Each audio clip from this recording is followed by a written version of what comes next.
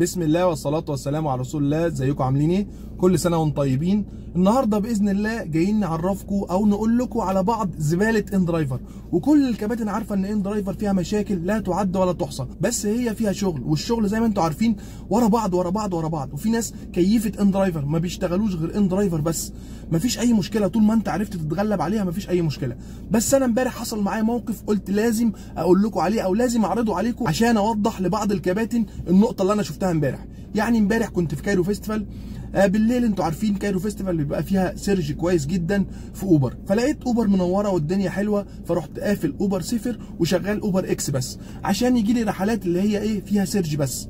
المهم راح جاتني رحلة واحد ونص. قلت زي الفل. رحت للعميل ببص لقيته رايح مدينتي. قلت زي الفل مشوارها يبقى 10 على 10 وإحنا ماشيين في الطريق خلاص نازلين طريق السويس لقيت العميل جات له رسالة على الواتساب. بيقول لي معلش ممكن تقرا لي الرساله دي؟ قلت له إزاي؟ انت مش عارف تقراها؟ قال لي اصل أنا مش عايش في مصر عايش في أمريكا. فبيقول لي اصل أنا ما بعرفش اقرا عربي كويس فممكن تقرا لي الرساله دي؟ قلت له تمام. قريت الرساله. ببص لقيت مكتوب فيها انت بني آدم مش عارف إيه مش راجل وبني آدم غير سوي ومحتاج تروح للدكتور نفساني وكده. فقلت له معلش هو مين اللي بعت لك الرساله دي؟ اصل أنا قعدت اضحك كده. فهو بيقول لي هو بيشتمني ليه؟ قلت له هو مين اللي بعت لك الرسالة دي؟ قال لي ده أنا كنت طالب Uber و inDriver بتاع inDriver اتأخر عليا ومش عارف حصل إيه فأنا رحت إيه طلبت Uber قلت شكل inDriver عشان على طول الكباتن ما, ما بتجيش على طول فقلت أطلب Uber فطلبت Uber فانت جيتني على طول فمشينا. بيقول لي هو بعد كده وصل وأنا لغيت الرحلة وقلت عادي يعني ومشيت.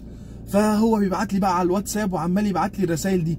فأنا مش عارف هو بعت لي كده ليه. قلت له آه inDriver هو الكابتن في inDriver النسبة بتتاخد منه أول ما أنت تلغي أو هو يوصل أو كده. فهو كده النسبة بتاعت الرحلة دي وأكيد رحلة مدينتي أقل حاجة ب 100 ولا شو ولا 100 وشوية فأكيد الرحلة اتخصمت منه أو النسبة اتخصمت منه. فهو زعلان قوي. بعديها بشوية راح جات له رسالة تاني. قال لي معلش اقرأ الرسالة دي. فبيقول له أنت بني آدم حيوان أنت مش راجل أنت مش عارف إيه وخير الكلام الصلاة والسلام على رسول الله. أنت شيخ قوي يعني. يعني أنت بتشتمه في أول الرسالة وبعد كده تقول له خير السلام على الرسول عليه السلام أنا مش عارف إيه اللي بيحصل. ان درايفر جننت الكباتن. أنا عارف ان ده مشكلة بالنسبة لك ان انت متخصم منك نسبة كبيرة.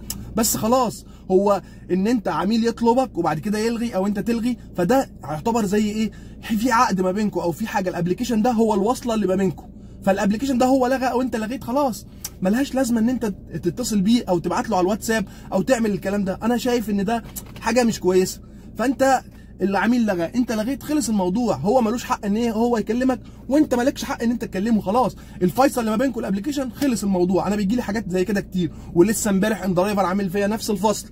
لغالي رحلة بحوالي 120 جنيه وبعد كده وأنا كنت جنب العميل يقول لي اتخصمت منك النسبة أصل مش عارف إيه وأبص في الاسترداد لقيتها مش موجودة في الاسترداد بعت شكوى يقول لي أصل أنت في غلط ومش غلط والمهم رحت شتمتهم في الدعم ورحت قافل قلت يلا يعوض علينا ربنا بس هعرف أجيبهم يعني ما تقلقوش يعني أي رحلة زي كده أنا ليا عندهم 12 جنيه هعرف أخدهم بطريقة غير مباشرة فما فيش مشكلة بس مش من العميل من الشركة نفسها عشان الشركة دي شركة زبالة فخلاص أنت قبلتها بعيبها أو اشتغلت معاها بعيبها فخلاص مفيش أي مشكلة بقى. زي ما بيقولوا كده صاحب صاحبك على عيبه. هي الشركة فيها عيب. أنت بقى قبلت العيب أمين ما قبلتش ما تشتغلش. إحنا عارفين انها بتخصم وبتعمل مشاكل وحاجات زي كده. خلاص إحنا عرفنا العيب فين ما نجيش ناحية العيب أو نحاول نتغلب على العيب ده وخلاص على كده. واللي مش عاوز يشتغل ما يفتحوش خالص هي شركة زي الزفت. وبإذن الله ربنا يسهل البيك اب اللي هي الجديدة دي الكندية تنزل وتظبط الدنيا ويبقى أحسن من inDriver وأحسن من الكلام ده ونشتغل فيها إن شاء الله والدنيا تبقى أحسن. وبرضك في الفيديو ده حبيت أرد على كابتن باعت لي النهارده الصبح على فيديو تبع inDriver بيقول لي أنت بتقول إن Uber حلوة. طب أنت مش قبل كده كنت بتهاجمهم؟ يا أستاذي الفاضل أنا بشتغل على كل ال application ولما يكون في application في عيب بقول ال application ده فيه عيب الفلاني. ال application فيه حاجة كويسة بقول سعره بقى كويس. مش عارف في رحلة كويسة في إيجابيات في سلبيات وبشتغل على كله. مش أنا مش application واحد حكر عليا لأ أنا بشتغل في كله. ولو في حد فيه عيب بقول فيه عيب في حاجة في كويسة بقول في حاجة كويسة. بس وأنا بشحن على فكرة inDrive 50 جنيه مش عارف إيه. ليه؟ بشغله برميه جنبي كده يمكن تقع منه حاجة كويسة. ساعات بتيجي على ال application والله رحلات كويسة الواحد بيعرف ياخدها وبأسعار كويسة بتبقى مجازية معاك. لكن الزبالة بتيجي بعد كده ده والحاجات القليلة والرحلات المضروبة والكلام ده لا مالناش دعوة بيه. أنا حبيت بس على السريع كده اوضح النقطة دي عشان خاطر الكباتن تاخد بالها من النقطة دي. عشان في ناس بتقع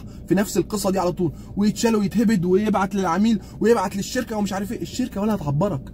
انت ريح دماغك. الشركة دي ما تعملش معاها غير لو في رحلة كويسة. بس لكن ولا شكاوي ولا الكلام ده عشان دي شركة عيانة. اهم حاجة بقى يا باشا لو عجبك الفيديو اشترك في القناة وفعل زر الجرس عشان يوصلك مننا كل جديد. واوعى تنسى ال like. وما تنسوش الاشتراك في group التليجرام. هسيب لكم ال link تحت الفيديو واشوفكم الفيديو الجاي إن شاء الله.